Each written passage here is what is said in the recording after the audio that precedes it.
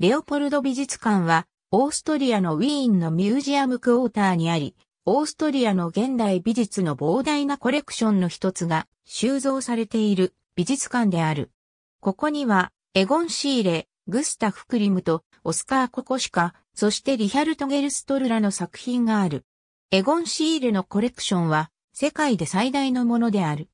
50年以上にわたり、エリザベスとルドルフ・レオポルト夫妻により収集された5000点以上の作品は、オーストリア共和国とオーストリア銀行の協力で、レオポルト美術館財団が管理することになった。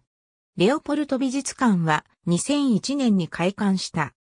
収蔵品の中心を成しているのは20世紀前半のオーストリアの美術作品で、この中にはエゴン・シーレやグスタフ・クリムトの主要な絵画やデッサンが含まれ、オーストリアのウィーン分離派、アール・ヌーボー、有限とスティル運動から表現主義への流れを見ることができる。歴史的な文脈では、10世紀、20世紀のオーストリアの主だった芸術の流れが展示されている。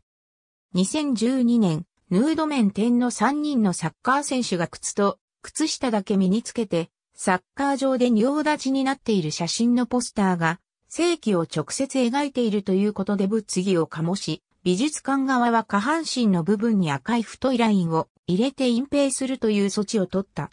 オリジナルの写真は美術館で見ることができる。開催は2012年10月19日から2013年1月28日までである。ありがとうございます。